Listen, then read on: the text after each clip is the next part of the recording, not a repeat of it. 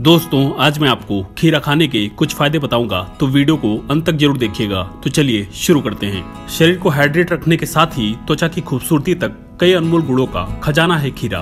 दोस्तों, खीरे की सबसे बड़ी खासियत है कि इसमें 80 प्रतिशत पानी पाया जाता है। खीरा प्यास को बुझाता है और शरीर में पानी की कमी को पूरा करता है। ये शरीर के आंतरिक अंगों और त्वचा की गहराई से सफ़ाई करता है। इसके अलावा त्वचा की जलन और टैनिंग को भी कम करता है। खीरा का बेहतरीन गुण है आँखों को ठंडा प्रदान करना। फ्रिज में रखे खीरे को काट कर आँखों पर रखने से आँखों की थकान मिट जाती है। इसके स्लाइस को आँखों की पलकों के ऊपर रखने से आँखों को ठंडक मिलती है। खीरा खाने से दिल में जलन कम होती है। ये शरीर के जहरीले तत्वों को बाहर निकालने में मदद करता है। हमें प्रतिदिन कुछ विटामिन लेना बेहद ज़रूरी होता है, जैसे कि विटामिन ए बी और सी हमें नियमित लेना चाहिए। खीरा अकेला हमें प्रतिदिन के विटामिन देता है। खीरे के छिलके में विटामिन सी होता है। साफ़ सुथरी चिकनी और चमकदार त्वचा चाहिए तो आप खीरे से अवश्य दोस्ती कीजिए। खीरा में पोटेशियम, मैग्नीशियम और सिलिकॉन अत्यधिक मात्रा में पाया जाता है। ये तत्व त्वचा के लिए बहुत ज़रूरी होते हैं। खीरा वज़न भी कम करता है। जो लोग अपना वज़न घटाना चाहते हैं, वे